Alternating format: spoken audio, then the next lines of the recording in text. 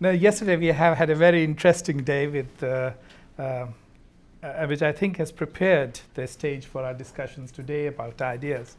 And just looking at the program this morning, I thought, isn't it interesting that when it comes to the Gulf, we start off with discussing with money, and then move on to people, and then finally to ideas.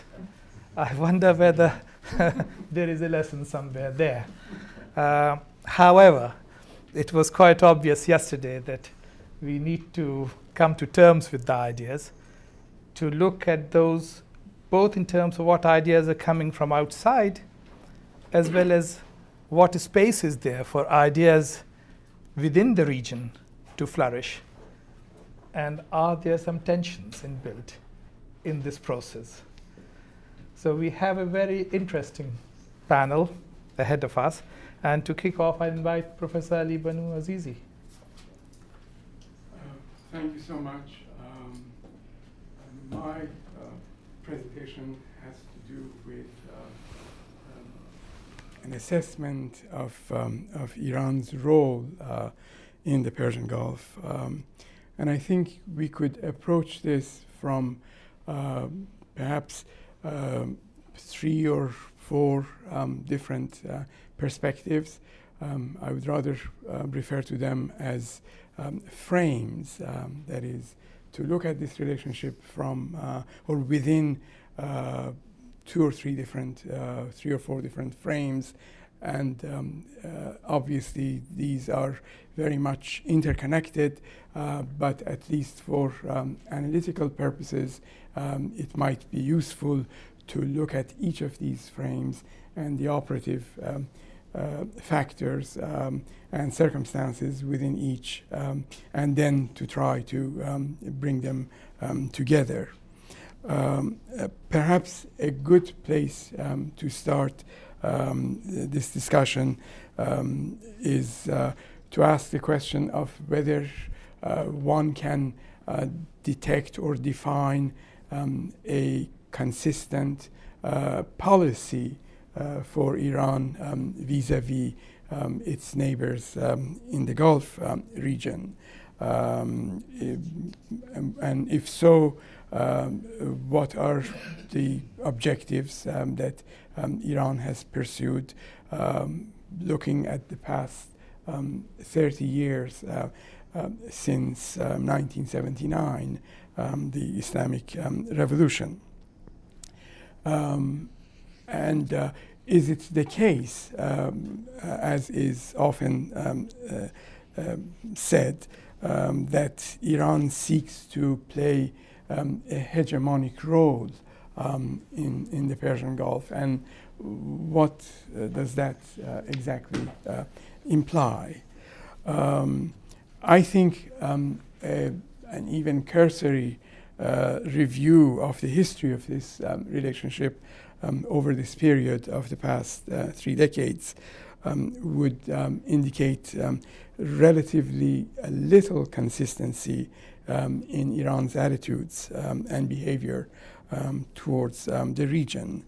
as uh, most of you know, in the immediate aftermath of the revolution, uh, much like other world revolutions, uh, um, Iran's principal um, uh, ideological position was to spread the Islamic revolution um, and to challenge uh, and adopt very hostile attitudes um, towards um, the, uh, uh, the traditional monarchies in the uh, in the Persian Gulf. And um, I recall uh, Khomeini making the statement, for example, about the Saudi king that he's worse than uh, Saddam Hussein. Um, and that attitude uh, uh, continued um, uh, for much of the 1980s and, of course, was overwhelmed by the Iran Iraq um, war, um, where the uh, Gulf countries um, uh, sided, uh, of course, um, with, with the Iraqis um, in, in that um, conflict. however, with the death of Khomeini and the ending of the war, a period of um, relative moderation uh, began to take shape in Iran's um, uh, foreign policy and attitudes towards the Gulf states. This is under um, and uh, there were several openings, visits, and exchanges. Uh, relatively good relations, even with uh, uh, or especially, I should say, with, um, with Saudi Arabia during um, that period. Um, that trend um, continued um, under uh, President Khatami, in fact, was expanded, uh, and relations became even better and less tension um, ridden uh, in, in that, uh, during that period. Um, with the election of uh, Ahmadinejad in 2005, um, a new phase uh, began, and now the picture became much more complex and mixed. And I will come to uh, some details of that um, in, uh, in, uh, in, a short time. So let me now move to my first frame uh, in looking at, uh, at this um, relationship, having just given you a very brief history of it. Um, the, the, this frame uh, would look at the uh, issues, at the relationships, at tensions, at the affinities uh, between Iran and its neighbors um, in the region um, by focusing on what would be endogenous uh, factors. That is, what exactly uh, is the content uh, of this relationship and what are the tensions uh, within this relationship, what are the rivalries, uh, what are the attitudes, and what are uh, the concrete economic dimensions um, of this relationship. Um, I think this is very important for any kind of analysis uh, of, uh, of the general theme that uh, we're talking about, to have a much more fine grained approach and to explore um, these uh, uh, bilateral and sometimes multilateral um, relationships. Needless to say, uh, there have been um, historic tensions between Iran um, and several of the Gulf states um, with uh, Bahrain. Uh, from time to time, um, there have been um, statements. If one goes back to the 1960s and 1970s, of course, there were uh, serious claims that Bahrain um, is a province um, of, of Iran, and Iran made uh, such uh, claims. But those tended to subside. Um, however, from time to time, again, uh, even those kinds of statements are repeated as recently as um, a few months ago uh, by some prominent uh, members of uh, the Iranian um, political elite, um, for example, within um, the parliament. Um, another manifestation of this very tension um, has to do with the naming uh, of the Gulf uh, and the insistence on the part of Iran um, that it is the Persian Gulf, not the Gulf, not certainly not the uh, Arabian Gulf and the Persian Gulf. Um, there is no question that there is historical validity uh, to that claim. Uh, that is, if one were to go back to, you know, from the time of the Greeks to the present uh, period, uh, there is no uh, evidence that it was ever called anything other uh, than the Persian Gulf. Uh, within uh, the international community in the more recent years, and it has been uh, recognized as such.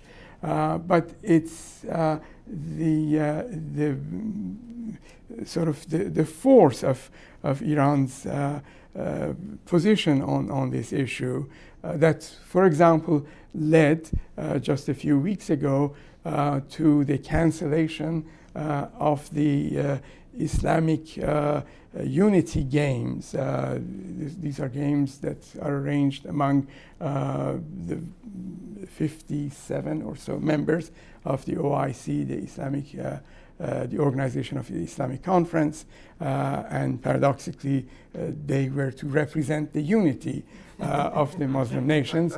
But whereas, you know, Iran uh, minted the medals with the Persian Gulf, you know, minted on each of them. Uh, the, uh, there were several uh, representations by uh, various uh, Arab states, principally, I believe, Saudi Arabia, but others as well, to, to, to withdraw that.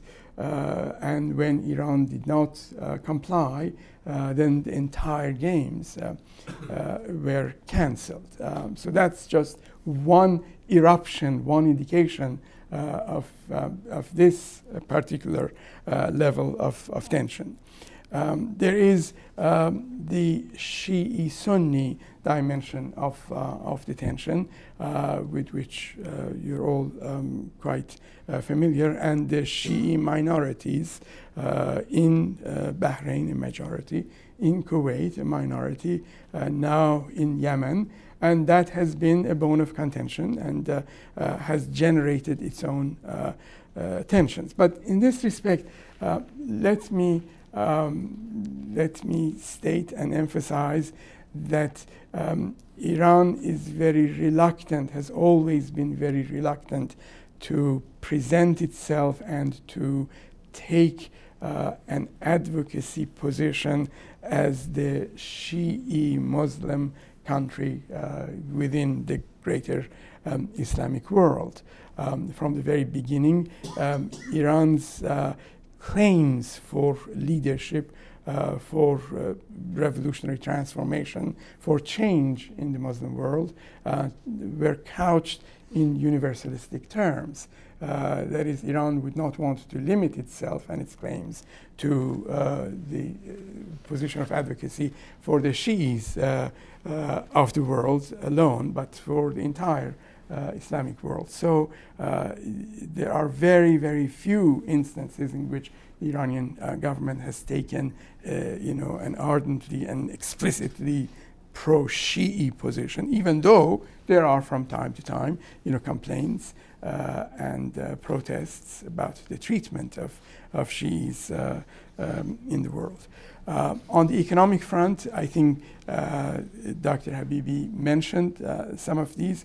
There are uh, some real examples of cooperation between Iran and several of the Gulf states, uh, even joint projects, uh, gas, for example, and, and in various other um, realms. And as was pointed out by one or two of our panelists, of course, the expatriate Iranian population uh, in, uh, uh, in several of the Gulf states um, is quite significant. So these are the kinds of issues that um, the first frame would pick up and must pick up if we are to understand the, the nature of the relationship um, and its vicissitudes uh, over the past um, 30 years.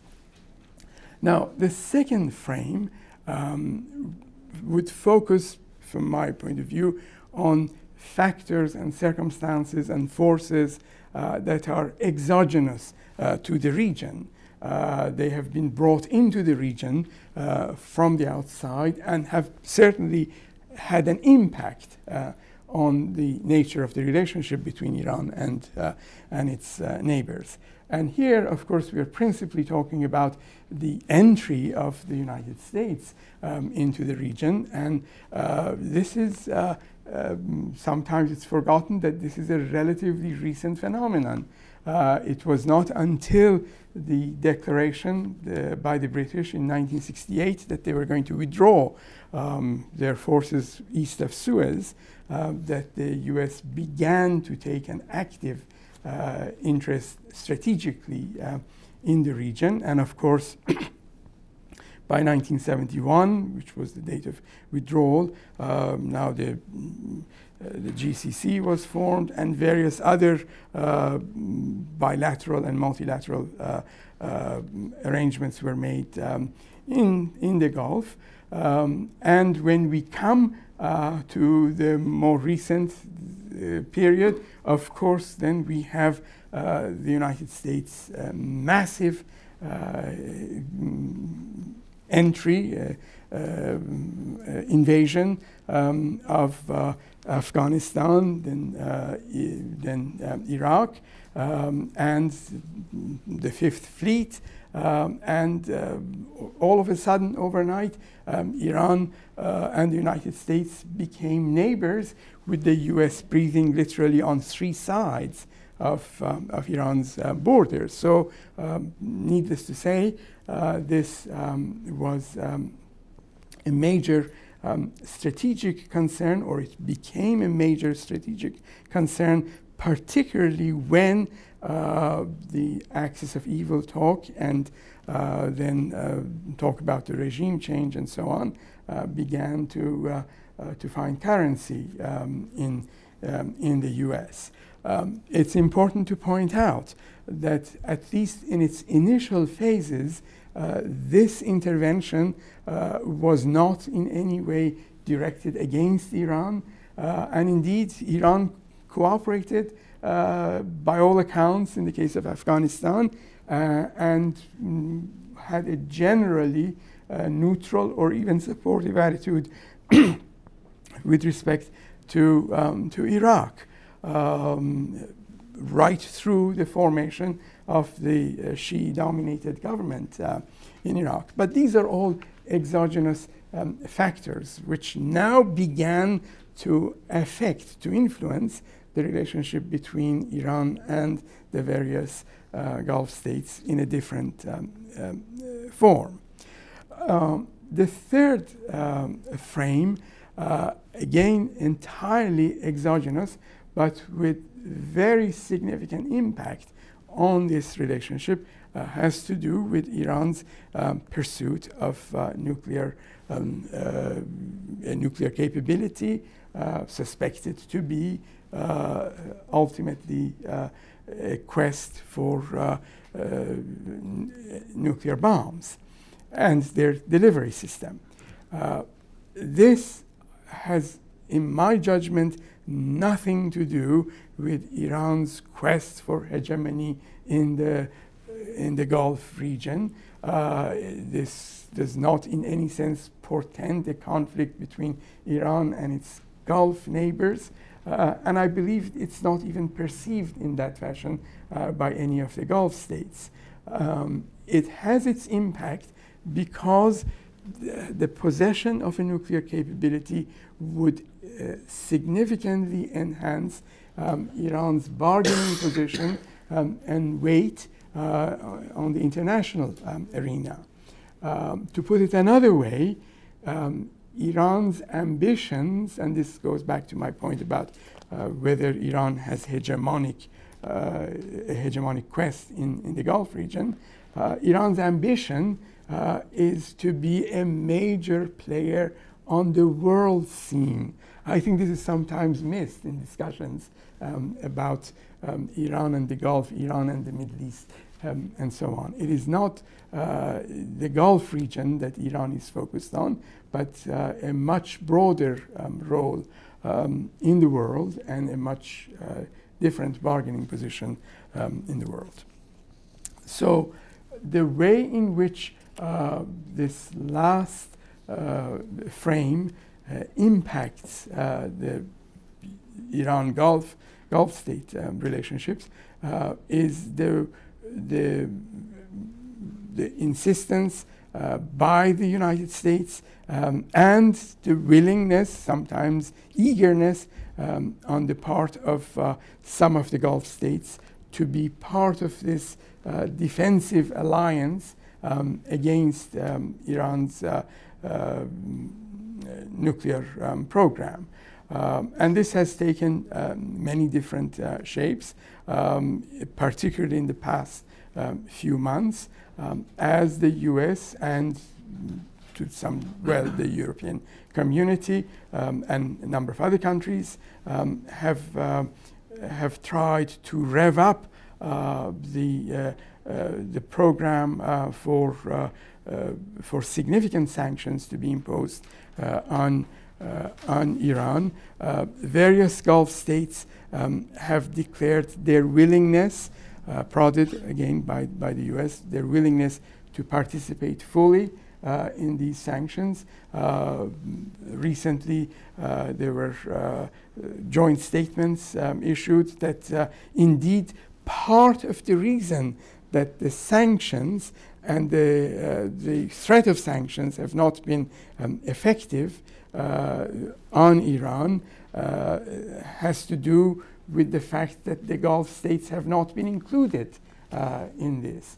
Uh, and that uh, there should now be uh, a, an alliance um, and, and the Gulf states should indeed be invited to, to enter this alliance with the five plus one in order to strengthen the sanctions. Uh, they, as you know, a, big part of this is uh, persuading China uh, to uh, uh, to go along with a sanctioned regime um, within the UN uh, Security Council. Um, and in that regard, Saudi Arabia, that currently provides, I believe, something like 11% of, uh, I'm sorry, about 11% of the, uh, the exports, of the oil exports to, to China are provided by Iran. And the Saudis are being urged, and I believe they're uh, they have declared conditionally their, uh, their willingness to go along to uh, pick up that slack of 11% of, of oil supplies to, to Saudi Arabia. Um, to, I'm sorry, to China. Um, so th these are the three frames that bear on, on the relationship. Um, as to whether uh, the, uh, the influence of Iran is um, waning uh, or it continues. Um, I think here we would need to bring the three frames together, but also significantly, in my judgment, to look at the domestic situation in Iran and how it bears uh, on its appeal uh, in the Arab world uh, widely, you know, broadly speaking, uh, and in the, uh, in the Gulf region more specifically.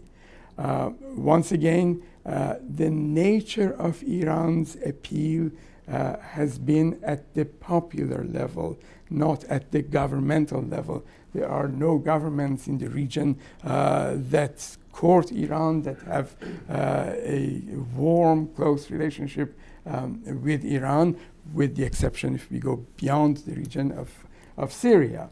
Um, and um, some non-statal groups, Hezbollah um, and Hamas. So the principal appeal of Iran has, from the very beginning, been at a different level. Uh, it has been an Islamic, a radical revolutionary Islamic appeal in one form, uh, and it has been uh, very directly related to Iran taking a very uncompromising uh, and strong position uh, in defense of the Palestinians. That has been the principal uh, appeal of uh, the Iranian model uh, in this region and in the Arab world. Um, and it's precisely that appeal that makes many of the Arab uh, heads of states and governments quite nervous. look at what has been happening just in the past few days.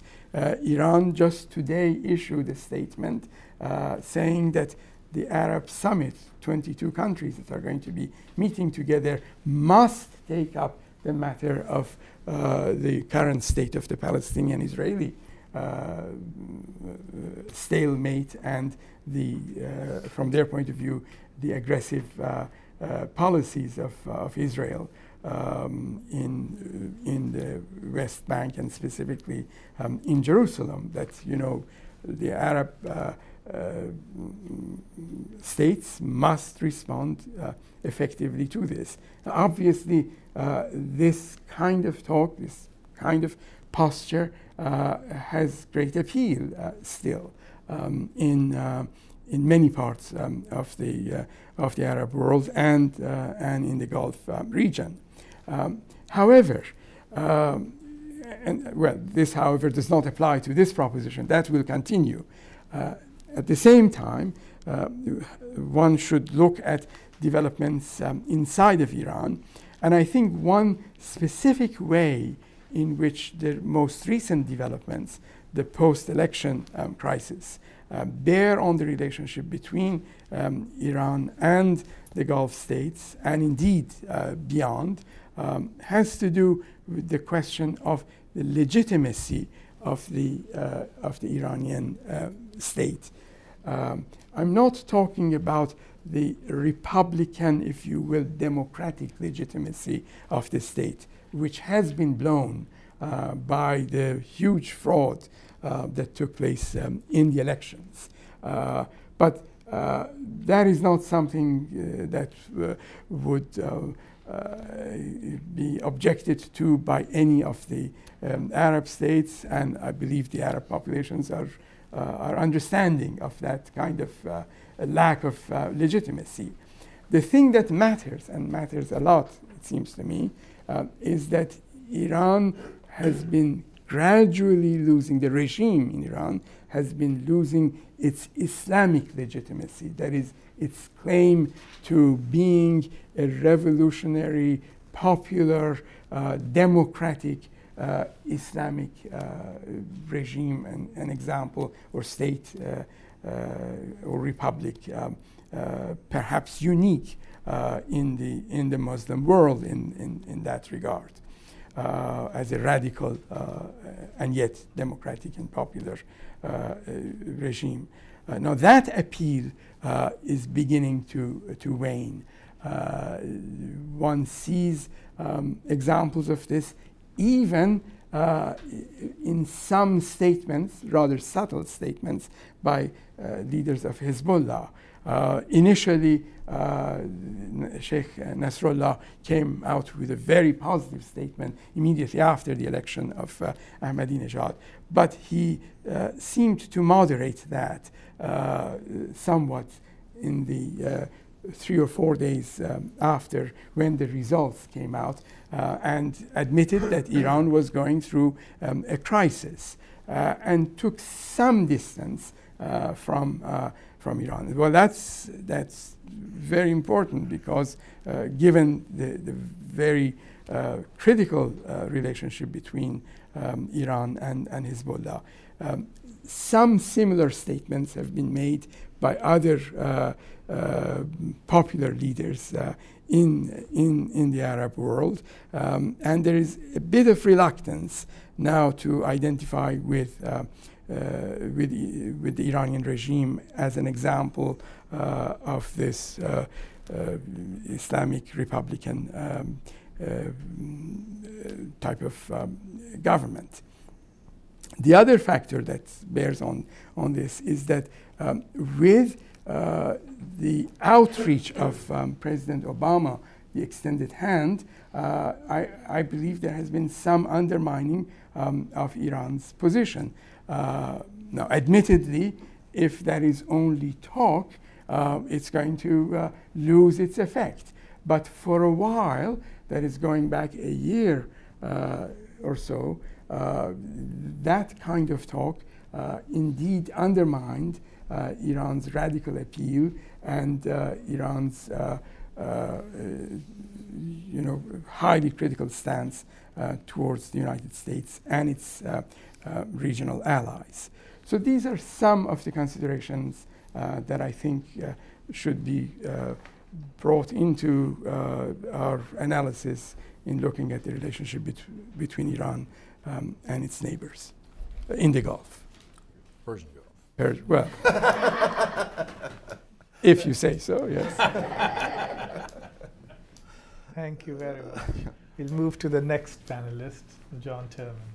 Thank you, and thank you for the organizers, uh, to the organizers for including me in this. It's been quite interesting and uh, and valuable, especially the the three amigos here. That I like that image, although you know the the film, The Three Amigos, the last one is maybe not quite so complimentary.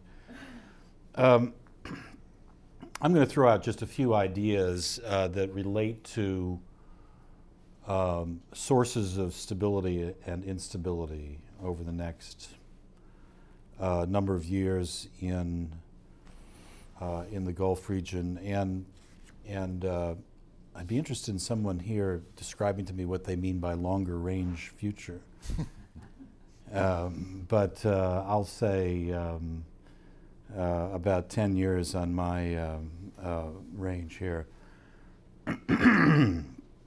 Um, a few years ago, I think, well, actually, probably now, almost 20 years ago, uh, Stanley Hoffmann wrote an article in, in, in Foreign Affairs called Clash of Globalizations, uh, which I thought was a brilliant article at the time and I think holds up very well um, upon looking at it again the other day. And, and, and this idea of globalization, which you know, was on everybody's lips a few years ago and seems to have slipped a little bit uh, in its popularity, but I, but I suggest that this remains the uh, uh, one of the driving forces for change uh, throughout the world, of course, throughout the developing world and, and in the Gulf. And, and how this plays out, of course, is um, the, the, specifics of it, of course, are, are exceptionally important.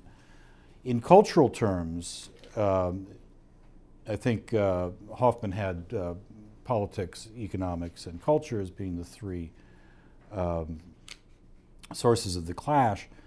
Uh, in cultural terms, uh, I'd suggest that the clash comes mainly from from Western media and youth culture, as uh, Mehdi was was talking about yesterday. Um, this is this is more than just a surface phenomenon, though. This is this is exceptionally important driver of change, not only because these people become adults and and uh, successful business people and professionals and so on and become important in that respect in their societies. But it is a the the the rate of change, the rate of cell phone penetration, for example, just to take one example that was mentioned briefly yesterday, is just phenomenal in this region. And cell phones, I've come to understand quite recently, uh, given the limits of my own generational uh, profile, is um, is now really altering the developing world in, a, in an exceptionally um, rapid way. And that is that cell phones have become sort of mini computers that people use for a lot of things, and, and uh, some of them quite positive developments, uh, economic develop, economic uh, uh information that helps people uh, thrive in their societies, for example. But this new capability uh, in cell phones and the penetration among youth particularly brings, of course, globalized culture to these areas. And I, we, we know it's a source of friction already in many places, Iran not, not least among them.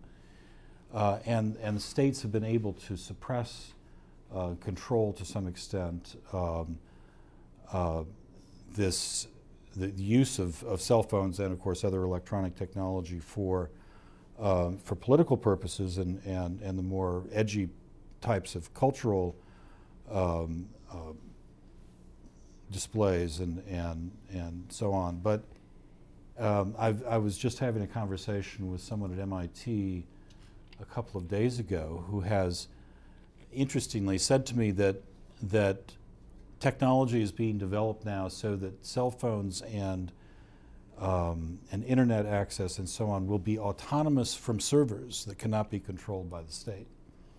Now, I can't explain what he means by that technically, uh, but I thought it was a very interesting comment because I was actually asking him very specifically about Iran. If there was some way to decouple the, uh, these technologies from state control, he said right now there isn't, but it's just around the corner. Satellite is one thing, but he, was also talking about Wi-Fi as being something that's very difficult to control from from the state and so on, but also as having the equivalent of sort of server kind of capability um, autonomously, which I, I don't understand it, but in the uh, clouds. Uh, hmm? In the clouds. it's actually a, it's a peer-to-peer network. Yes, right. That's part of it. Basically used as as a sort of autonomous network. Right, correct. And the technology already exists and it requires uh, really a small applet and everything to make, yeah. make a phone with the right tech Yeah. Yeah. Yeah. Yeah. things like that. Stuff like that. Anyway, uh, it, it, there's just that's that's a bit of a uh, digression, but I think the point is here that this this kind of technology and and what one does with it um, is going to be a very significant continued driver of globalization, of globalized culture, and challenges to uh, traditional authority and authority of the states and so on. On the other hand, you know, globalization raises expectations of all kinds. And if states do not satisfy them, uh, indeed, if they reject such expectations as illegitimate, uh, then you have an explosive situation as well, potentially. Um,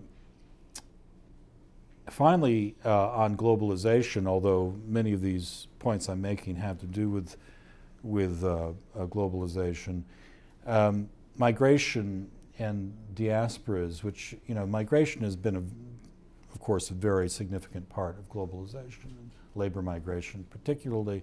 It's really part of a system uh, of globalization to some extent. And uh, the role of diasporas, the, the remittances were mentioned uh, prominently yesterday, but also political role of diasporas can play a very powerful um, role in the future. I'm not sure that it has so much. Uh, it has with respect to Iran to some extent. I'm not so sure about the other countries in the Gulf. Uh, but we've seen this in a number of other places in Africa and so on that have had political uh, conflicts of various kinds, and the diaspora has played an exceptionally significant role. And that, of course, is coupled with the communications technology to make this possible. So um, uh, issues of identity, which I'll, I'll, address again in a moment, um, and um, uh, the, the actual uh, uh manifestation of migration. Um, is it permanent? Mig- is it permanent emigration that that uh, creates diasporas in the United States, Europe, and elsewhere that have their own political consciousness that then reflects back into the home country? Is it this guest worker phenomenon that we were discussing yesterday, tremendous scale in the Gulf, particularly uh, uh, migration, in migration to uh, to the Gulf states? What what kind of political consciousness do they bring, and so on? This is all very fluid and, and not easy to summarize, but clearly uh, plays a very big role in the future of the region. Uh, second a big idea, of course, is democratization, democ- the democracy agenda, mainly of the United States, but uh, of other actors, including Europe and, and some players in the region. Um, I'm going to read just a couple of summary uh, points made by a workshop that was held in, uh, at Stanford last year because I think they summarize it so well, I couldn't do a better job. Um, the workshop explored several reasons, some structural, some circumstantial, for the recent failure of the region to achieve any sustainable progress toward democracy. Now, they were talking about the Middle East more generally than the Gulf. Uh, first, the regimes have been very savvy, politically savvy, and adroit in dealing with democratization pressures.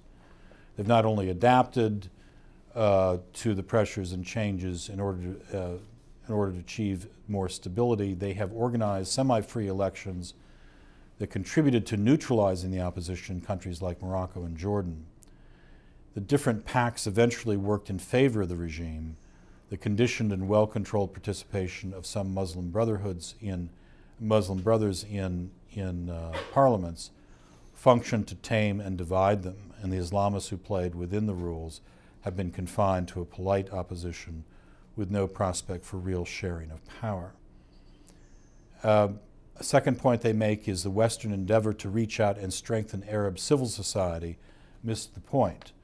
The democratic actors tapped for engagement and assistance, in fact, had shallow roots among the real society of these countries and were often associated in the eyes of public opinion with Western imperialism. This actually verifies other studies that have been done of, of NGOs in the developing world, the ones who succeed are the ones who are very, very uh, uh, savvy about connecting to the Western donors and often are products of Western universities and so on, uh, not particularly grounded in, in the indigenous culture. Um, Third, no constructive dialogue has been established with the Islamist mainstream movements. Uh, and of course, the West refused to talk to Hamas after its victory in 2006. Uh, fourth, the third way movements, which tried to go beyond the harsh choice of either dictators or Islamists, fared quite poorly in electoral competition throughout the region and have been unable to sustain even the initial momentum they generated in some countries. Be interesting to see how Iraq uh, fits into that comment.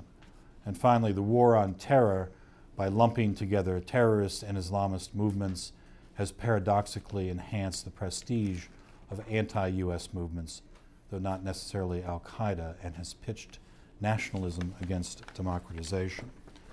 Uh, interesting points, which I generally tend to agree with. And I would add then that the while the democratization scheme, particularly of the of the Bush administration, seems to be at best a partial success, uh, if not um, more on the uh, spectrum of failure, I, I think it's important to note that the rights revolution more generally in the world uh, will continue to nibble at the social and political constraints of many of these states in the Gulf and in the region more generally. Um, but what we've seen in some developing countries is that the, the pressure for political reform and democratization, anti corruption measures, and the like uh, is often at odds with uh, privatization and liberalization of economies from the standpoint of stability. That is, it's very difficult to have political and economic reform, far reaching reform, at the same time in many of these places because stability is provided sometimes by things like uh, patronage, right? Um, democracy can be upsetting in, in any number of ways to stability. And at the same time, when privatization tends to drive up unemployment, uh, often tends to be tribally based in various ways and so on. So it's an important question. There's no simple uh, depiction of it, but it's an important question to keep in mind as we think about the future of these states as well as, as um, elsewhere. Uh, yesterday, Farhad helpfully raised the issue of identity uh, through talking about citizenship. I mean, didn't I don't know if he used the word identity, but I think that was implicit in his discussion of inclusion and exclusion. And the question here um, is how are identities shifting, and what does that mean for governance and political mobilization, particularly? I mean, are identities in the region shifting? Are they becoming more um, uh, national? Are they becoming more international? Are they becoming more globalized? Um, are they losing tribal roots? Are they clinging to them in different ways? Um, how is this affected by processes of globalization? And this uh, will uh, be important for political mobilization, which I'll come back to in a moment. Um, the rise of the middle class. Kristen's presentation yesterday was eye opening. I would venture uh, to add that uh, another piece of speculation here, and that is the potential revolutionary character of the middle class. That is, that we have, um, particularly in this country, I think we tend to think of the middle class as being innately conservative. Um, but you know, revolution was invented uh, to some extent by a middle class, imbued particularly the one particularly imbued with um, with religious zeal, right? I mean, think of Michael Walzer's Revolution of the Saints, a brilliant, I think, depiction of this. It was essentially a middle class that had been imbued with uh, this strong uh, devotional, uh, faith based, as we would say today, ideology uh, that really uh, changed Europe and the United States. Um, and it's conceivable that um, this can be a major source of ongoing political change in the Gulf. Uh, that is, change will not necessarily come from the top. It will, uh, in, in terms of reform, it will not necessarily come from the outside as pressure from the United States, from Europe, international institutions, processes of globalization, nor from the street, uh, the Arab street, but from an energized and ideologically driven middle class. It gets fed up with the way things are are newly connected, energized through education and other um, uh, modern means, uh, but also has um, adopted um, Islam in, uh, as a as an ideological glue. You see this to some extent in Turkey, actually. Um, when you think about it, I mean, Turkey has, uh, and thus far, of course, in a non-violent way, but a very pervasive uh, change in Turkey. This is the oldest, um, strongest, and most durable state in the region, basically, if you include Turkey and the Middle East. and the change changes there uh, have come about um, partly as a result of a newly energized middle class that has supported uh, Erdogan's party.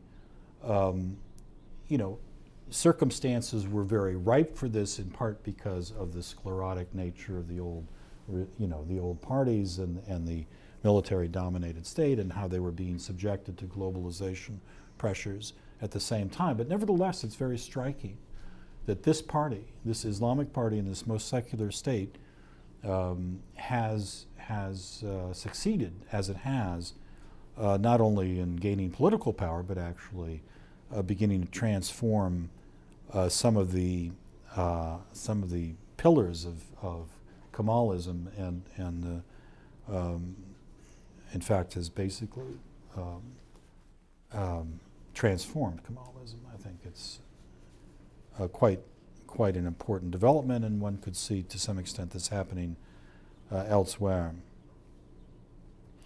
Um, a word about security. I think, uh, fortunately, Ambassador Dunbar has allowed has opened this door for us, so we can say something about security.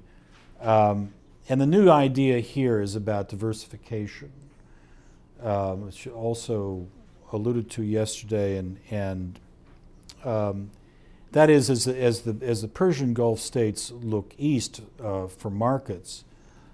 Um, as Professor Habibi said, uh, spelled out for us very well yesterday, they also, to some extent, look east for security.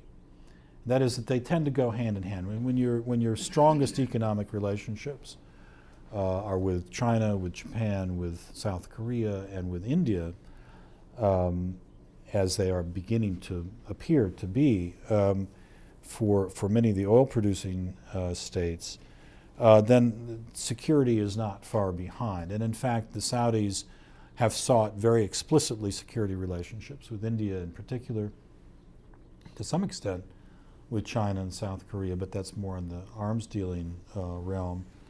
But much more specifically, a, a set of relationships with India and India is building a very, very big navy, a very capable one. Excuse me. And um, this is not, at this point, supplanting the United States as the principal security actor, and there's not any near term prospect of that happening. But if you look out, here's where we get into the longer range. If you look out maybe 15 or 20 years, uh, one could really see the, the, the, key security relationship for the Saudis and the other GCC states, particularly, as being India, or at least a growing role for India, and how that affects other issues um, uh, having to do with governance and rights and so on is, is an interesting one to think through. Uh, I will just make a, a little note about climate change. It was raised yesterday, and, and, and we didn't really discuss it much. Um, those projections that Judith was showing about, about oil consumption and exporting, uh, I think is really, you know, is conventional thinking, and it may be true, it's impossible to say. But it's also quite conceivable that climate change, um, or I should say climate change policies, will alter that that steady line up of, of oil exports from the Gulf to places like China, Japan, and India, and so on. it, it, almost impossible to predict at this point, but China at least finally seems to be taking uh, these challenges seriously. They're building a lot of fast trains, they're building electric cars, they're doing a lot of things, And of course, as a, as a uh, largely command economy in these, in these respects, um, who knows where it will lead as far as their oil consumption is concerned. I think it's something to think through. I don't, I don't have any, oops, I need to send a projectile out there, aren't you? um, but in any case, I think it's worth keeping an eye on, and, and it, poses an interesting set of questions about, about predict, predictability. Of course, it also plays into the issue of peak oil and whether or not these states are actually reaching limits of their productive capacity. Finally, uh, on political mobilization, um, I, have mentioned it a couple of times. What forms of political mobilization pose challenges to the Gulf states? Uh, if the contest over citizenship and belonging, for example, is one of exclusion and inclusion, uh, that is a very potent formula for political violence, for example. I mean, there's a school of thought that uh, is pretty empirically uh, based, I think, uh, that says social exclusion is one of the main drivers of, of terrorism. Um, and um, if, if that continues to be the state of play in some of these states, uh, then that, that certainly raises the, the, specter of, of that kind of instability. Uh, at the very least, it'll be an engine of political friction, uh, this exclusion, social exclusion, political exclusion. Uh, women's mobilization is another example of something that is clearly on the horizon, is happening, is happening in Iran. Uh, there's some been amazing things of women organizing, not, not just as part of the Green Movement, but actually prior to that uh, in Iran, and um, signs of it elsewhere. It's, it's, uh, it, of course, it's powerful because it reaches into every home. It's not class based, it's not necessarily tribally based. Um, it is uh, it, the exclusion of women from from political power is, uh, depending on your interpretation of these things, is, is religiously sanctioned to some degree.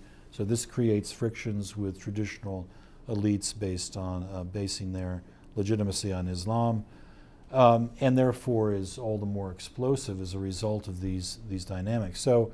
Um, again, this this is partly a result of globalization. It's partly a matter of uh, women, for example, in Iran being as I think a couple of people have mentioned, uh, more uh, educated than men uh, at the uh, college level and so on. So it, you know, there, there are these processes that are occurring that just do seem inexorable in some way. Very hard to predict how they manifest ultimately, but uh, it, it's happening in one form or another. And then finally, um, on uh,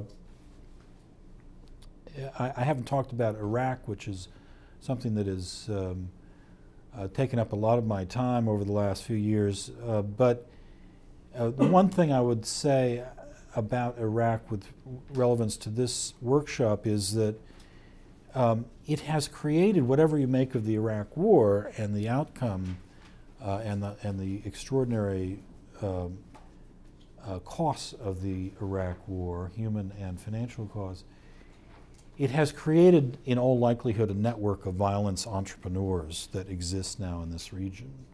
Just as you know, we've heard about uh, Bosnia and Chechnya and Algeria and other struggles, Afghanistan most prominently, and now uh, Iraq, a long war involving a lot of people and a lot of violence.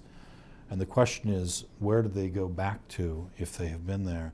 What is the um, uh, what are the consequences for uh, other countries in the region, of course, what are the consequences for Iraq itself. Very hard to say, but certainly not a, uh, a happy note to end on because I think it, it, it, it certainly connotes more violence, political violence, and instability, uh, at least in the next decade or so. So I will stop there. Thank you. Thank you. Uh, thank you. Uh, procedural comment, I think the term, the term Three Amigos was created by Judith when she was fed up with Richard, Ali, and me in a conference in Washington. But thank you for that term, actually. We, we like it. Uh, my Say ve- the movie reference. that was before the, mo- the last movie. but uh, I'm proud to be part of the Three Amigos, two of my most dear friends. Uh, my comments actually is complement what uh, uh, my two friends here have expressed, especially the, some of the comments that, uh, that John mentioned. I'm concerned historically, uh, as a social scientist, with the issue of uh, underclass exclusion, and some of the comments I made yesterday point point out to that.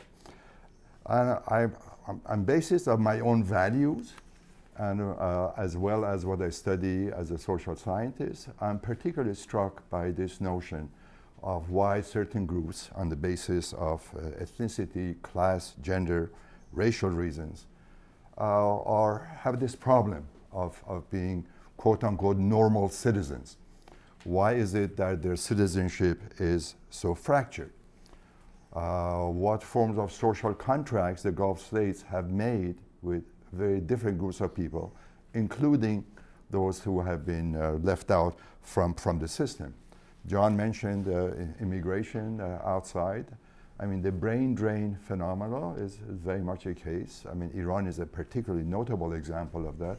But throughout the period, and trying to connect that to some of the best social science writing on that, I think of this great book by late Albert Hirschman, uh, who talk about exit, voice, and loyalty. And we see examples of, of exit when things don't go well, and the voice that could be mobilized, and, and we've seen the, the proper and improper versions of that, some violent, some, some, some mainstream, and the question of loyalty. Uh, now, also, I believe John mentioned that the question of, of migration uh, into the Gulf and outside uh, workforces, uh, it's been dramatically changed, but the problem has been there for a long, long time. Of course, we know that in Afghanistan, when the Soviets occupied it, the population was about uh, 15 million at that time, and about one third of the population migrated to Iran and to Pakistan. That's all correct, due to the horrible Soviet occupation. But when if one looks at the history of that, before the occupation of Afghanistan by the Soviet Union, there were a million Afghan workers in Iran. They were economic migrants. Later on, economic and political migration became conflated and, and became one. I also don't want to interfere in my dear friend's Richard's uh, area of expertise. We talk about the Syrians in Lebanon, you know, more recently, but they had been there for a long, long time as, as workers, uh, professionals, and so forth. So uh, this is this group of people who have fractured citizenship. It's a concern. I think will have very important impact on politics of the Gulf area, internally and externally. What I keep seeing, but I don't know when this become an, become an explosion, is that there is a process of change and transformation in the Gulf. I think it's very dramatic. No matter what indices we look at, uh, and it's connected uh, to, uh, to try to repeat what Ali said, to both endogenous and exogenous factors, not only for Iran, but also for the, for the whole Gulf period. I see the changes as uh, dramatic and more changes to be very much in part and parcels uh, of, of the game. Who are the leaders of these changes? What groups are pushing it more? Is a debatable proposition. It's possible, I think uh, John mentioned, that actually the middle class may become a quote unquote a force of major changes. I'm not sure I would use the word revolutionary, even though Michael Walzer's book, of course, was a, one of the greatest uh, books on that subject. But the middle class could be a significant force of change. And as we discussed it yesterday, we have to see to what degree do the, the forces go there. Now, let me look more briefly again, not only at the, uh, at, at the changes that are taking place all around, but what are the more clear-cut changes that I see based on external outside forces, and what are the ones that are developing from the inside? Obviously, globalization, global culture, and so forth is a very major factor, and we don't know the dimensions in terms of mass media and intercommunication. Uh, we had a presentation on that yesterday, but I think this is the sky is the ceiling on that. Things are changing so fast and so so so dramatically and clearly. We don't know what they will lead to. I would assume much of that is positive, but the judgment on that issue remains, remains to be seen. So media, internet, and so forth. Then, of course, we have higher education. It's, uh, we, all of us as educators, have thought that education is one of the principal agents of socialization. And it will continue to be that. But how quickly, how, how forcefully can imported educational institutions have a major impact on the politics and domestic affairs of these areas? We hear about KAUST, we hear all the activities in the, in the, in the UAE and so forth, and they seem to have some impact, obviously, on some of the dominant values of the society. I've been following very closely the issue of, of KAUST and the reactions in King Abdulaziz University, Saudi Arabia, which began with what, 7 billion endowment, and the question of the mixing of the genders uh, in that institution and some reactions that some uh, clerics made to that, some negative reaction, and a very, very sharp counter reaction by the Saudi monarch. Uh, well, the point is that that could go on. We know who is more powerful, who is less powerful, but to what extent will this, I think, very, very novel change in Saudi Arabia will have the long-term impact on gender relations, relationship and how will it empower women in that society, other places, for change uh, for better change. So there are all these things that are happening we should keep an eye on. And then in terms of internal forces uh, uh, involved, of course, Richard and I and Ali, others have been a civil society activists for a long time. We believe, obviously, civil society as an agent of change and democratization, but I'm also constantly being reminded about the power of the states in the region as important as civil society institutions are, and to me are extremely important, but we don't see any reduction in a kind of a very systematic way of the power of the states in the region. So they have the resources, they have the, the monopoly over means of uh, collective violence, and they continue to be important, but that doesn't mean in any form or shape I'm losing hope uh, for civil society institutions in, I think in due course, some of them will have very special impact of that. Well, what specifically uh, of these groups? One is the private sector. We know from our history of, of Europe and the West and the process of democratization what an important role bourgeoisie played in changes and democracy in the West. Well, the problem with the Middle East is that the bourgeoisie is dependent on the state. But still, there may be some arena of change, some areas of change that, that could eventually put some limits on the arbitrary exercise of power by the authoritarian regime. This remains to be seen. It's a question mark, but I think we should not just dismiss it that the private sector will not be a force in, in, in a more of a balanced system. Then, of course, very important is the youth of the Middle East. Uh, we've talked, we have, we uh, some statistical evidence presented yesterday that the, most of the Middle Eastern societies, youth are the dominant population. But we also know from a comparative advantage that youth in the world have been in the forefront of democratization. And we know very well from the events in Iran how important the youth were in, in the green movement and so forth. And they will be for some time future. But how the phenomenon of youth can coalesce into organized activities through evolutionary processes that will impact authoritarianism, again, is a question mark that remains to be seen. We know will happen in some day and time, but when and how, it is a big question mark. Then connected to that, but I think extremely significant, and one of the questions we had yesterday from someone in the audience was about women in the Middle East. Uh, the increase in literacy has had a very important impact. Uh, to me, some of the most important elements in gender equality is economic uh, autonomy of the female. We also have seen the impact of the level of education of the mothers with population control. Iran has many bad things going with it these days politically, but on that issue of population control, the record is phenomenal. It's as good as West European countries and so forth.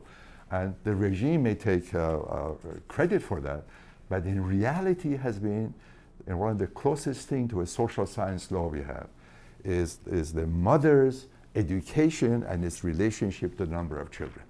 Well, women in Iran are highly educated. Women in the many of the Middle East countries are getting that way. They're still not quite the same level as, as Lebanon and Iran and Turkey and so forth. And Egypt, is a big problem. But nevertheless, this is going to be a very significant force of change, both in population control in an area where population is increasing rapidly, both indigenous and those of the, of the, migrant population and otherwise. And I hope, and I, I think we will see, that women also become a very significant force of accountability for the regimes, especially as they move into the economic realm and as they begin to have pressures politically. So, what do we should expect the next decade or so to see in the Gulf region and the Middle East? Again, change, more change, and more change. I think the demands for citizenship rights and collective rights of the excluded will become more and more articulated and, and will become part and parcel of that. There'll be a demand for individual liberties as well as for political participation.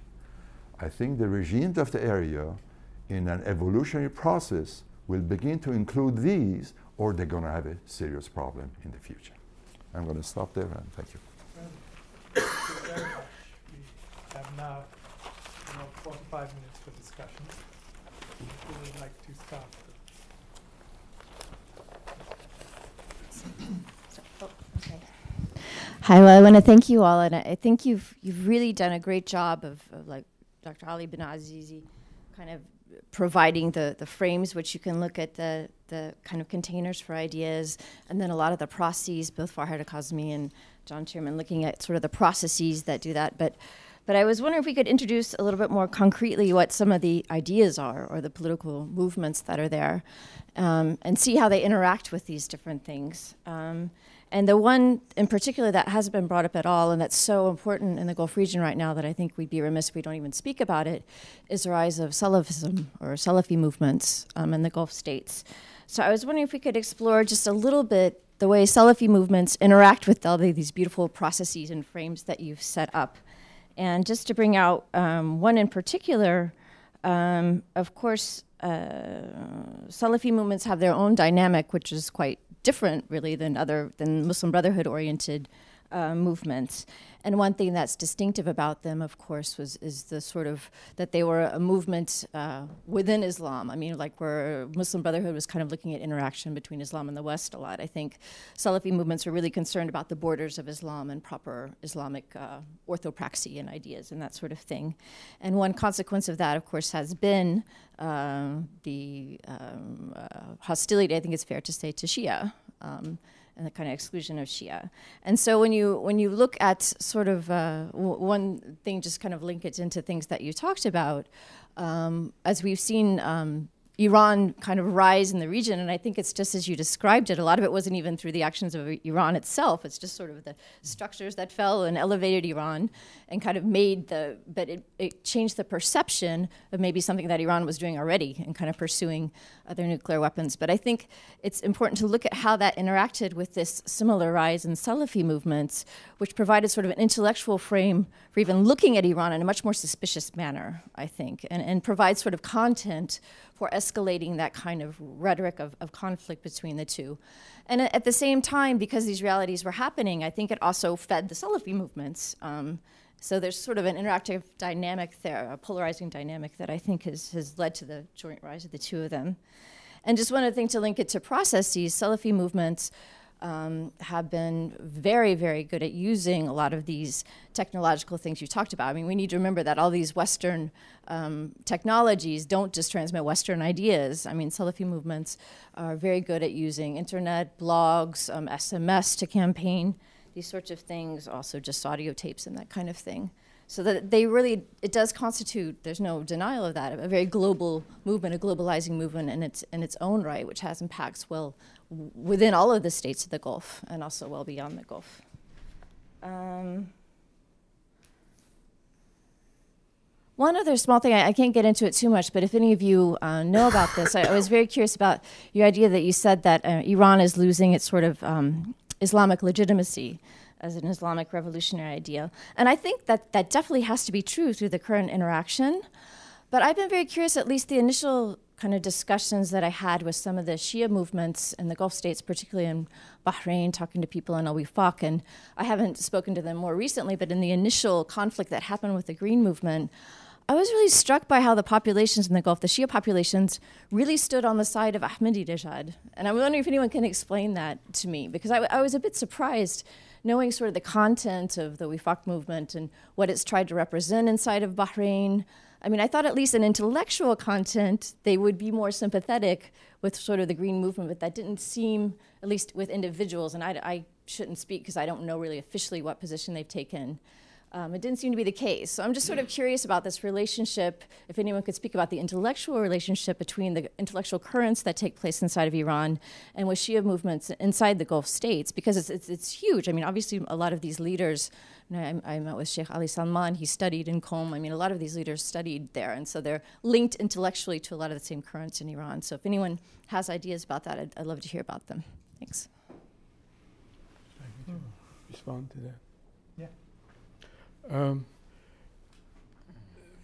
very briefly, I think, with respect to the Salafi movement, at least to the extent that the Saudis were initially behind the Salafi movement, um, I believe that there is some retrenchment um, in Saudi Arabia about that. Um, I think there's an increasing realization that this is a very dangerous thing. You know, all those madrasas um, that were promoted um, and the real policy changes that are taking place um, right now. Um, the, again, based on the realization that ultimately this movement can come back and its main target could become the Saudi state itself. Now, in terms of the, the ideas, the, the, mix of ideas that you mentioned, what are they? Um, you emphasized um, the persistence of the Salafi movement. Um, I believe that another idea um, that is um, growing and partly from Iran, but not exclusively from Iran, is the idea of secularism. That is, uh, not secularism, needless to say, for this audience, in the sense of the separation, you know, or secularization, let's say, um, of uh, uh, public life or certainly private life. Uh, but the notion that indeed religion is best protected within a secular arrangement. This is a thesis which, uh, more than anyone else, I think Abdullahi an-Na'im has put forward. Um, that uh, he argues, as everyone I suppose knows, that um, as a Muslim believer, he finds that a secular state, a state that is neutral towards religion, in fact provides the best framework um, for Islam. Now, the same kind of thinking is gaining ground in Iran itself. And what I emphasized earlier on regarding the the, the loss of legitimacy, the Islamic legitimacy of the regime in Iran centers on this issue. That is, it centers on the objections, on the protests um, of the high clergy in Iran about the actions and the postures and the policies um, of the government um, as, as official uh, or, the protectors of official religion of, of Islam. I think that idea is something that I would say is going to find greater currency um, in the Middle East. And I personally uh, pin my own hopes for change and transformation um, on that idea. By no means does that exclude or downplay the role of religion, but the idea that religious authority should not be vested in the state because we see in part the consequence of that as the militarization of the state so that now the Revolutionary Guards regard any kind of insult or opposition to themselves, to the military, as a violation or as an, as a, you know, as, a, uh, as an insult to Islam. Well, you can imagine how that goes over um, with those who have a genuine interest in the protection of religion. And of make a quick comment on this? Yes. Very quick, very brief. I, I, I do agree with Ali completely, and it was very articulate. But secularism, as you very well know, has gotten a bad name in much of the Islamic world. I remember Gilles Kepel's first book about Egypt, one of the four horsemen of the apocalypse was secularism. So I think what Ali is saying is very accurate. Let's forget the word secularism and don't think of the French model, laicism, you know, but some way where you respect on a personal basis your religion, your value, at the same time you keep the state somewhat neutral. I think this is the area where both theoretically, not only among the Shi'i modernists, but also among the Sunnis, uh, theoretically and actually in terms of popular acceptance is increasing quite rapidly. At the same time that Salafism is increasing. So- Right. Just to uh, uh, intervene a little bit on the, I hope we're going to get to the question of the Shia in the, uh, the reactions. Uh, A quick intervention on, on um, Ali's points, and then I hope we'll get to the, what you, the questions you raised about the Shia. You mentioned um, you, you saw policy shift in the Saudi government vis-a-vis Salafism, but I didn't catch what those were. Probably I wasn't paying attention, but can you cite kind of chapter and verse on what they've done?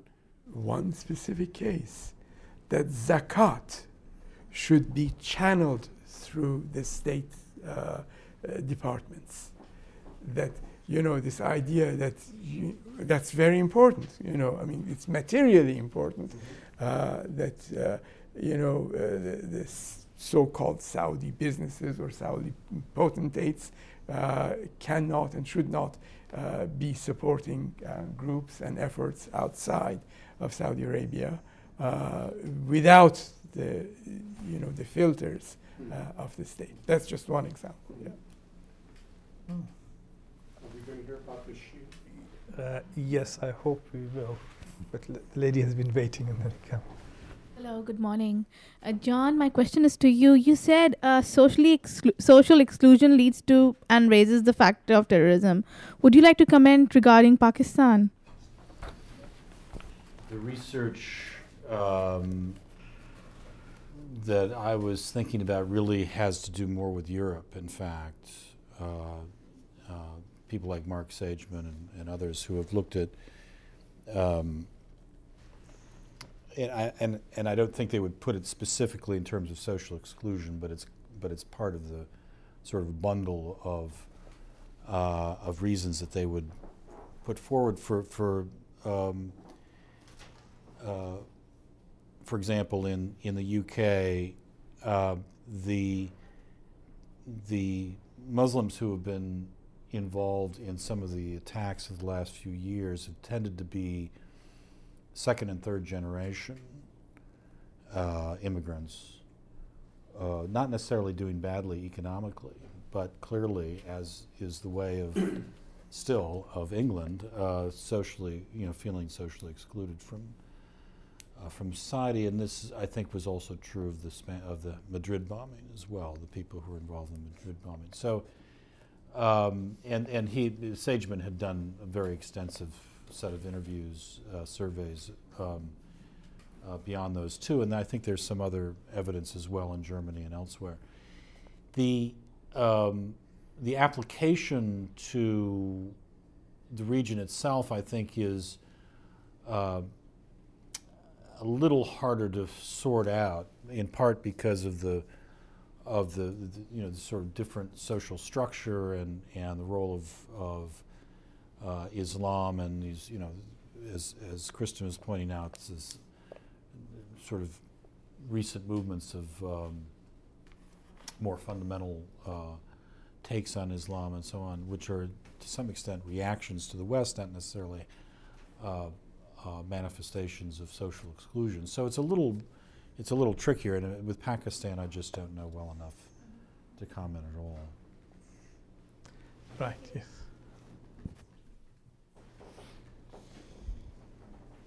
Um, my question kind of tags on to that.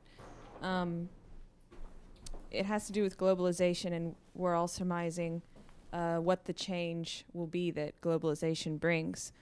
Um, so, in this way, um, I think as globalization is supposed to bring, or is uh, it, people think it brings on modernization or individualism or um, autonomy within the ind- individual. But if people are looking for a sense of belonging, essentially, um, social integration, um, could globalization be a way to dilute that sense of belonging, or will people look uh, to other ways? Maybe their Islamic identity, their national identity, their tribe, whatever else. So in that way, could it regress what we think of when we think of modernism or modernity?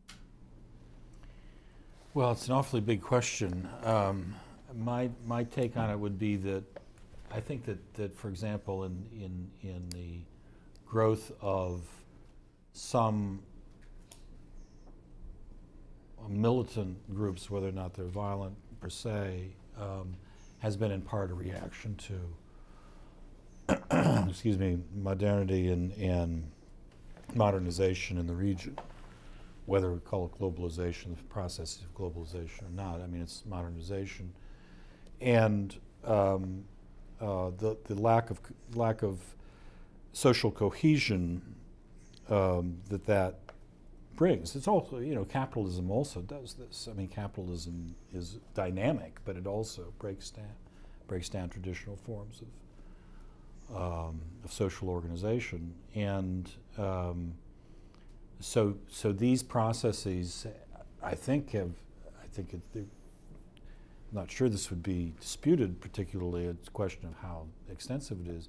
These processes bring, to, bring uh, a kind of a reaction that does, uh, can go in any number of ways, one of which is toward uh, uh an, em- an embrace of traditional norms and forms of authority and so on. And, and that's why I think, for example, women's um, empowerment, women's liberation, however you want to describe it, uh, as, as has been sort of creeping into various parts of the developing world.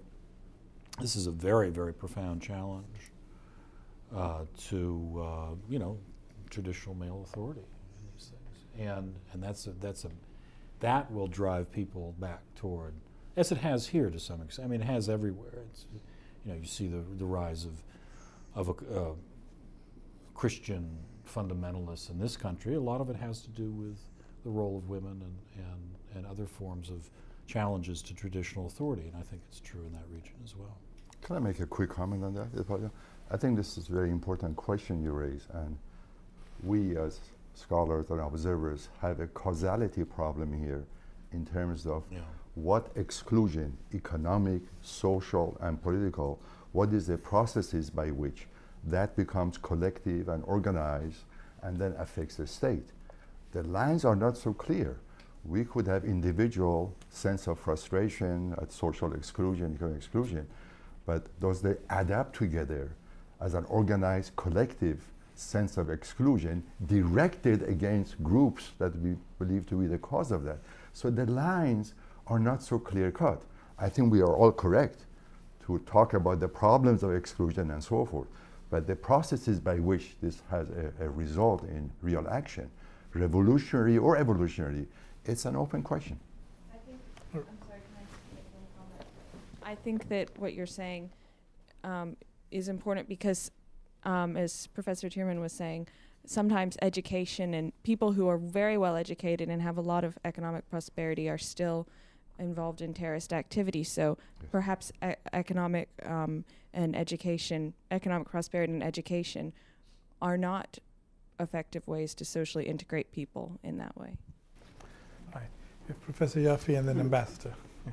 There, if there are others, no, I. No. I, I want to, I have to leave. No, the no, room, you're that's all. first. I know you're first. Thank I you. meant others. I- uh, Thank you. I want to get back to the question of the Shia because I think we've avoided it or skirted around it, and that's the wrong thing to do. It's a very important question. But who they are and what they want is something that everyone has trouble coming to terms with. Bahrain's Shia are not all Persian in origin. Um, the majority are, are of Arab origin. Yes, there are family connections. The Gulf is a highway and has been, as Larry Potter keeps teaching us, for what, thousands of years? But I think, in a way, they're the pawns of many people who are watching to see what are they going to do? Which way will they jump? Or will they not go at all? So they're pawns of Iran.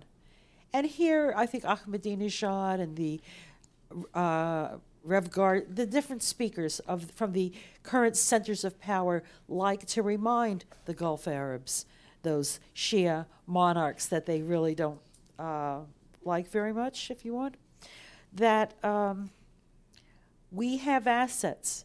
You really need to listen to us and respect because when they get when when these Iranians get cranky, they like to remind them that they have those assets, the Shia, and of course the assumption is they're all going to be loyal.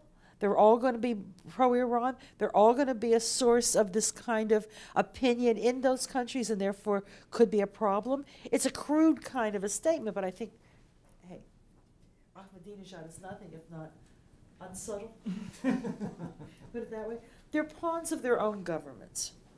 Because the governments like to use them, and in a sense, they're sometimes reinforced by what the Iranians are saying. Certainly, that's got to be true in Saudi Arabia. What is happening to the Shia there?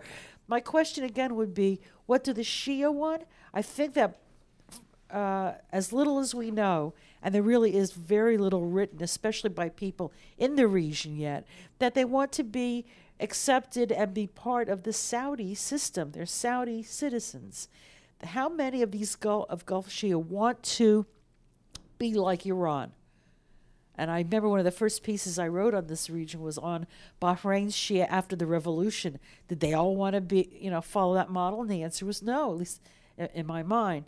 They, uh, there is another very strong influence, and that is the fact that uh, Shiism, as, as defined by Iran, has not been the dominant force, I, in my opinion. It is Iraq's Shiism. It is Sistani and his predecessors that have, I think, received religious loyalty. Um, there, uh, in the, if you look at the academies of Najaf, yeah, Khomeini was there, but they're also all of the leading Shia elements of the Gulf were there as well. Uh, and I think, like Fadlallah in Lebanon, tended to be uh, more of the Dawa type persuasion rather than of the uh, Iranian um, backed groups. Um, also, the presence in the Gulf. I mean, Iraq is important. I think you don't talk enough about Iraq. I have to tell you this um, because it's important. There are also a lot of ex Baathists in the Gulf, Sunnis who are accepted and receive regime support uh, and are becoming are becoming integrated into some of these societies to help boost. I think I mentioned that yesterday about Bahrain. But I think the, the point is that what happens in Iraq is very important. It's the next it's the next leg, if you will, in this uh, this sense of sh- building Shia identity and and participation. Not knowing how this election is going to turn out. Uh, even now, we still don't know. It's almost becoming like uh, our 2000 election. um, but the point is, Iraq is a democracy, and democracy just doesn't mean that the largest group, oh, it's the Shia, are always going to dominate government. They don't. They don't all vote. And I think we see that in this election, where votes have gone for non Iranian backed, non uh, secular there is a profound change going on there, but it's also going to feed the sense of identity and what we see the Shia have accomplished in Iraq. Why can't we have that here? You mean in the United States? Can I very briefly comment on that? Uh, this is this yeah, has gone beyond. Yeah. Well, uh, first of all, you you answered um, many of the questions that you posed. I think very well, but uh, but very quickly, uh, one could uh, talk about the Shia as minority or minorities, and as I think you correctly pointed out, they want to have full political participation and you know respect for their status and rights in places like Saudi Arabia. That's one problem. Now, Shia as a transnational political force, you know, the Shiite crescent and, and all of that, I'm very skeptical about it, you know, as I believe you are. All right. But let me just elaborate on that a little bit. Uh, the question in that regard is whether the Iranian government represents Shiism as a religion, right? That is very much in question today. Why? does Khamenei, as the supreme leader, after all, that's a very important sounding position, does, does he have any Shi'i followers outside of Iran? Okay, not political followers, of course. You know, there are many people who are on the dole, right? But but they're not religious followers. Does he have religious followers inside of Iran? Look at all the major, you know, uh, grand ayatollahs in Iran. There are about 12 or 13 of them, and how many of them have taken exception to his actions and his postures, and you know, uh, and so on and so forth, right? All right.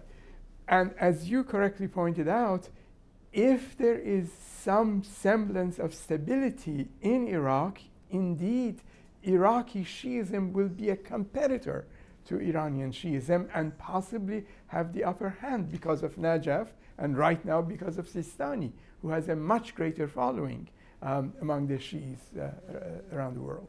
And finally, just look at Iran's support for Hezbollah as well as Hamas. Is that a Shi'i thing or is it an ideological thing? That's where I think we would agree. Maybe we could put that on the agenda for next time. right. Yes. Hi, it's a question for um, Professor Banuazizi. Uh, you mentioned in your talk about um, the importance of getting GCC Gulf states into the sanctions regime on Iran. Um, and we had, I think, Hillary Clinton just last week saying how it's important that Iran doesn't become a nuclear power, um, a nuclear weapon power. Do you think a sanctions regime is effective in this response, in this area of um, preventing Iran from, or changing Iran's behavior in, in trying to um, get nuclear weapons, or are there any other policies that you think the US or the international community could follow that would be more effective than sanctions? Maybe other panelists could uh, comment on that as well. my point there was actually a, a much more modest and, and, and simple one, uh, and that is that, as you know, uh, Secretary Gates and um, an Undersecretary of State, whose name I forget now, had been to Saudi Arabia uh, recently, um, and in their discussions with the Saudis and with some of the other Gulf states, specifically in the Manama uh, dialogue last year, for the first time, the notion that an effective sanction regime would have to include the Gulf states in it. That is, in the discussions that would lead to the development of the sanctions. That's a very new idea. You know, that, that we should have something more than five plus one at the point of the articulation of what that sanction regime is going to be. And I use that as an example of the Gulf states wanting to play, play along, if you will, uh, in, the, uh, in the movement to uh, forestall uh, Iran's acquisition uh, of nuclear capability. Yes, best. Is there anybody who hasn't asked? Yeah. Yeah. And neither is he. All right, then I'll come back to you.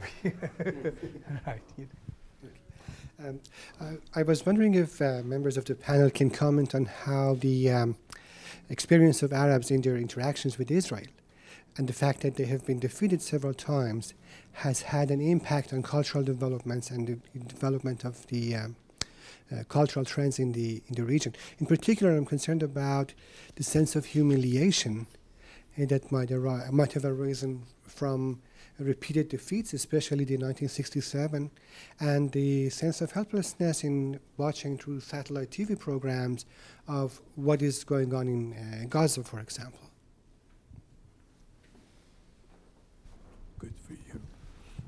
Well, um, my understanding of it is that it is a um, Gaza, uh, particularly uh, recently, is um, uh, exceptionally important, not to the not to the political leadership necessarily the Gulf, although le- important but not um, sort of game changing for them, but for the for the ordinary citizen of uh, Arab Gulf states and other um, uh, not not not limited to Arabs, I think, but Muslims more generally, um, has been a very powerful uh, sense of not humiliation so much as outrage. And it, it hasn't really, it hasn't manifested really as, you know, greater political activity or militant activity outside. But um, one constantly sees, and I think most interestingly now it has it sees references to it, and I think this recent statement by uh, General Petraeus is really the most remarkable. Uh, it's not a manifestation of Arab sentiment, but it's reflected right from from from U.S. perception that this is now uh, a mortal threat to um, what is his first priority, which is the protection of his own troops. Right? And I saw this also. I was telling Ali, I think, yesterday that uh, Admiral Fallon was at our center last year as a visiting fellow, and he had expressed similar things, some of them publicly, um, about the lack of, of Israeli movement toward a, toward a settlement.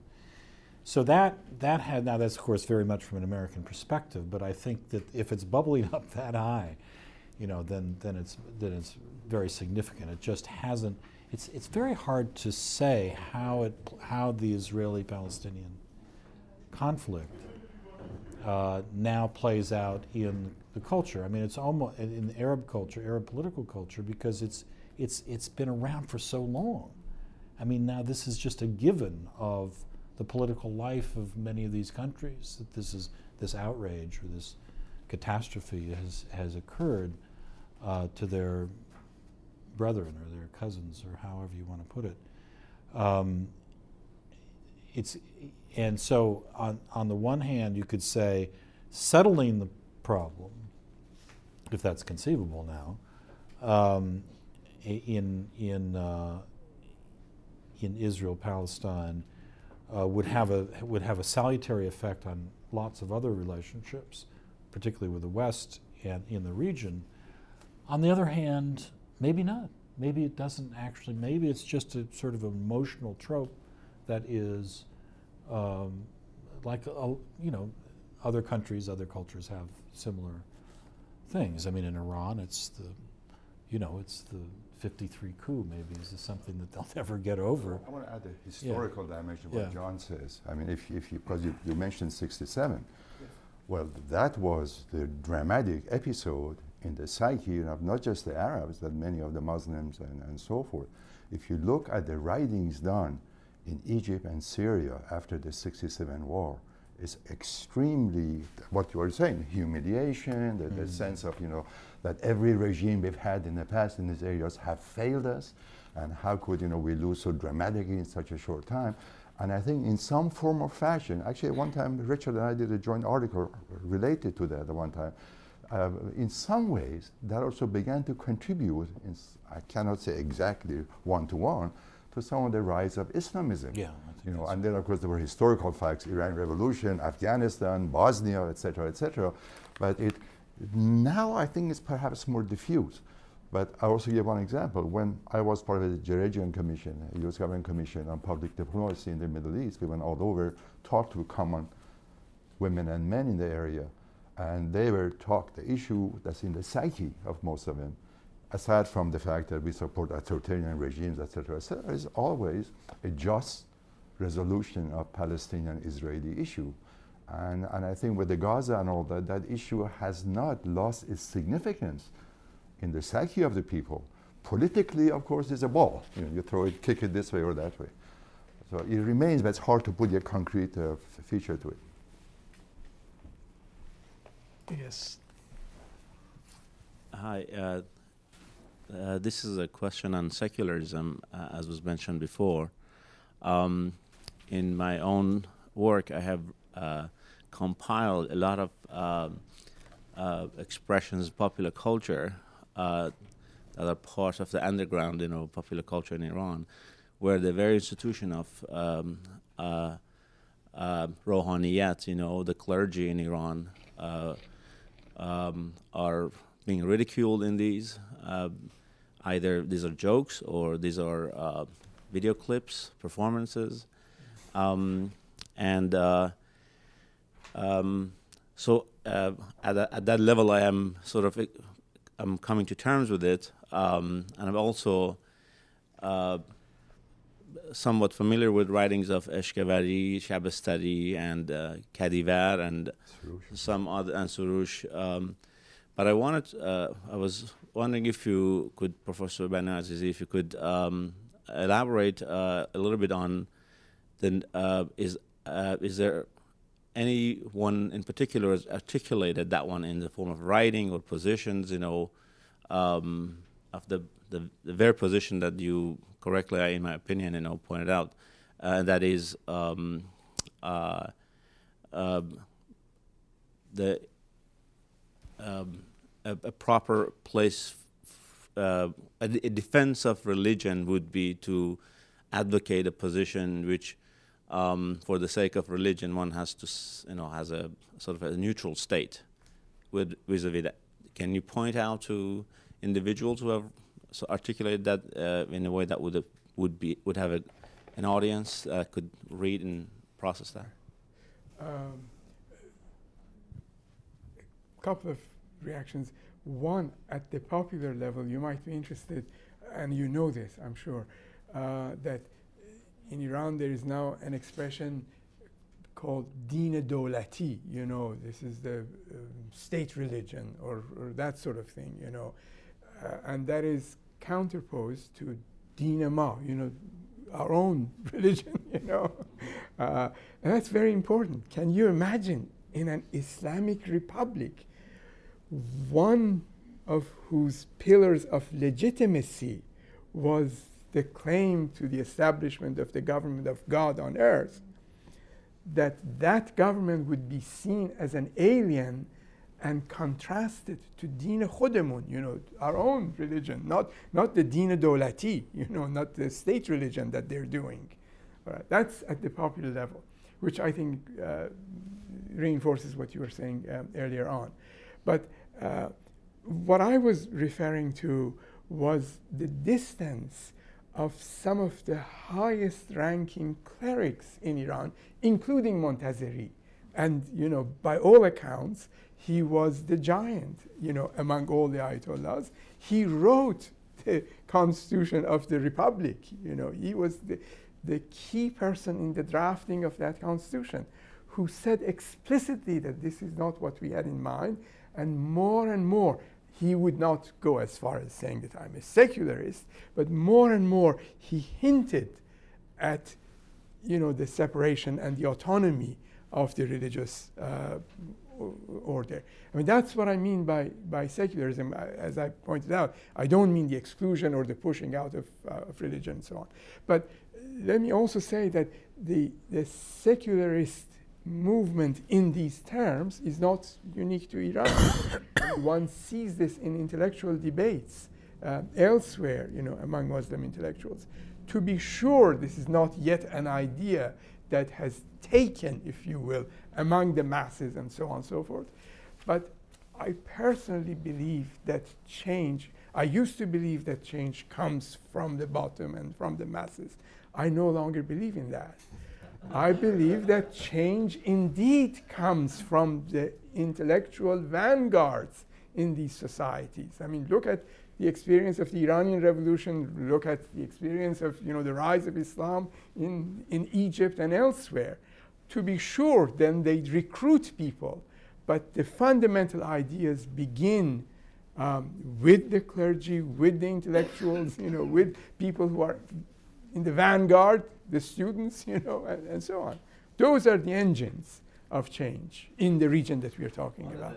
if I may add to this, uh, I heard from uh, basically a clergy a, a joke, um, which goes something like this. This is to the point that you made.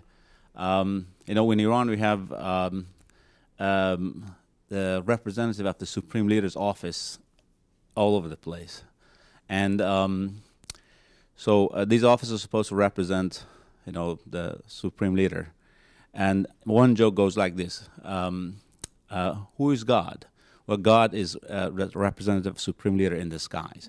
so even so, it's the, it's so flipped that.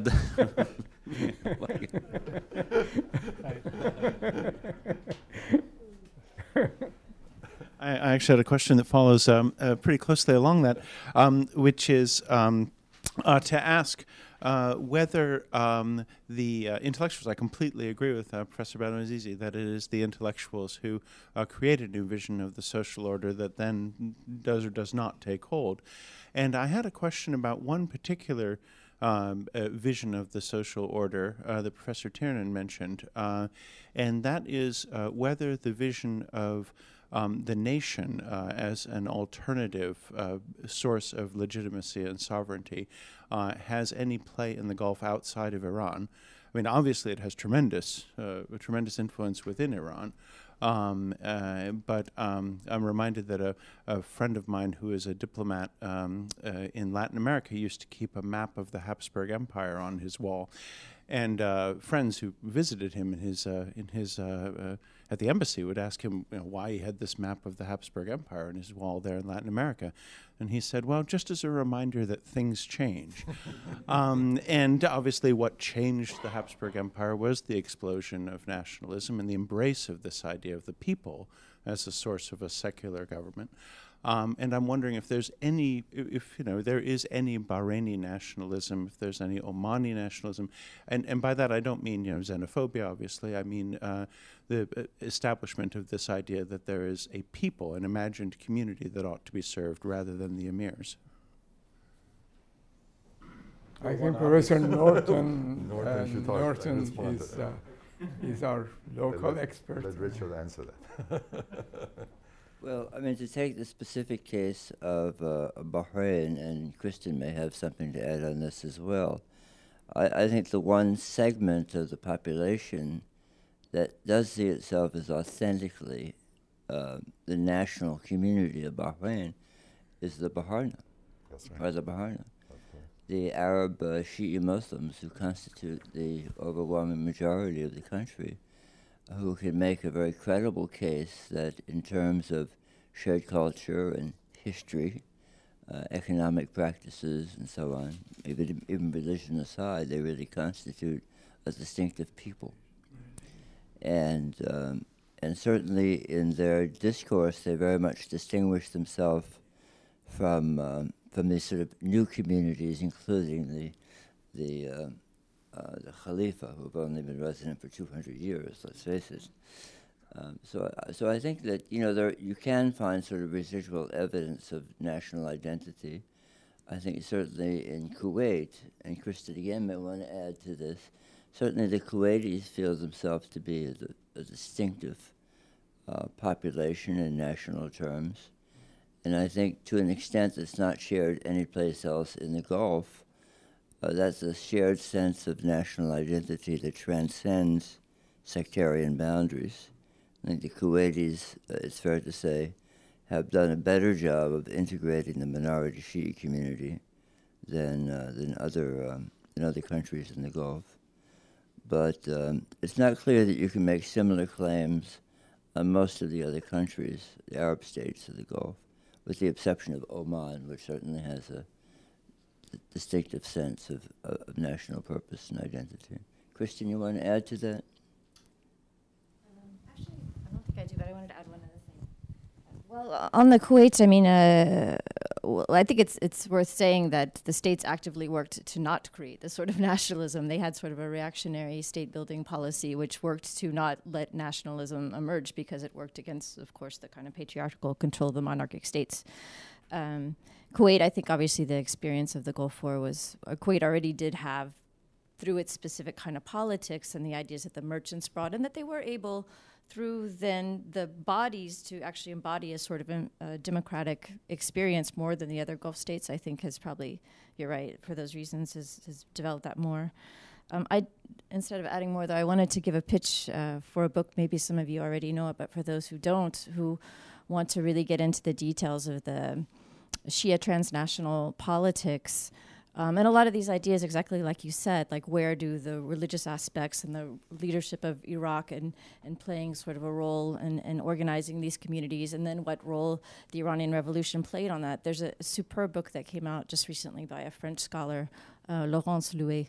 So anyone who's interested in those issues who doesn't know about them, I mean, that's kind of been my guide for, for all of these issues. So. And then finally. Um, I just have a question about, uh, uh, I guess, Arab Gulf scholarship, uh, and for the professors interacting with students that are kind of up and coming or counterparts at universities there.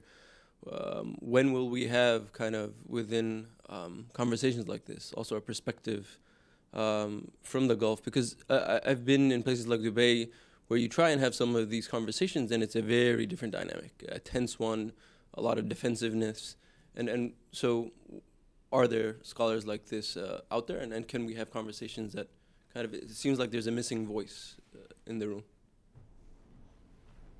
I, I, I agree. I think it's changing, but there's a, but there are individuals. In fact, from Sunni Bahrainis who sometimes express that, and others.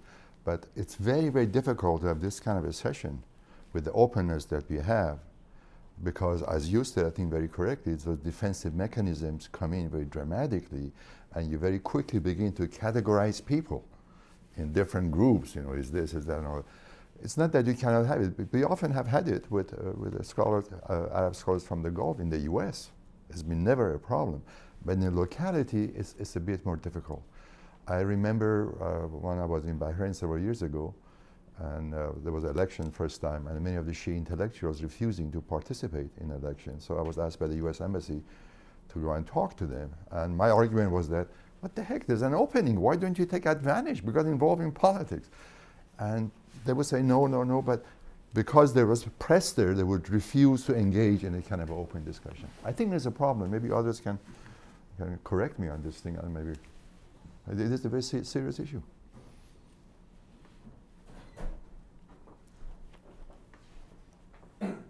Sorry, I don't want to keep you all from your sandwiches, but I was very struck by the point that, and gratified to hear you speak about the uh, the rise of the new Turkish middle class and um, the uh, so far successful experiment of uh, uh an a party that is that is not Islamist but that is uh, running the country. We latest developments are not terribly positive, I think. But what interests me a lot is uh, what the offspring of the generation of the great capitalists in the Gulf, who were very influential, the people who, um, you know, I, I, was trying to think of the greatest capitalist in Qatar, uh, but I think of the Jada family, which did happen to be of Shia origin.